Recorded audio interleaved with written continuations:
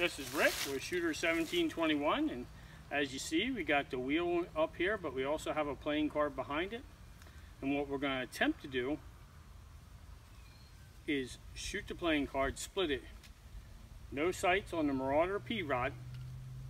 So we're going to spin this wheel and see if we can split this playing card. No sights.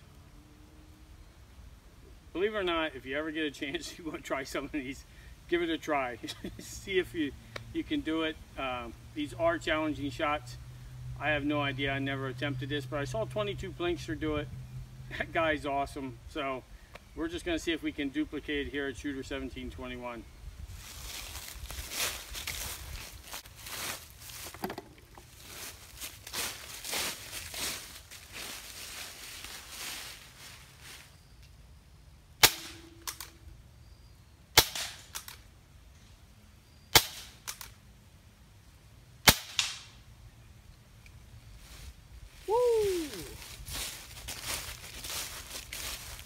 Well, there you go.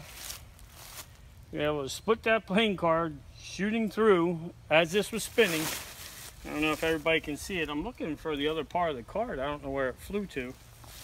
So, but I'll turn it around for you to see. I don't know if you can see it that well, but there we go. No sights. We stopped the wheel of misfortune.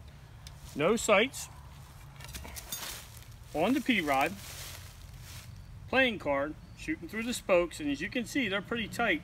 As I look at them they're an inch and a half apart. That's it just an inch and a half between each spoke. But there you go. Very good shot you can see. There you go. Yeah I'm rocking the Captain America today. I'm just feeling inspired. So this is Rick with Shooter 1721 thanks for watching guys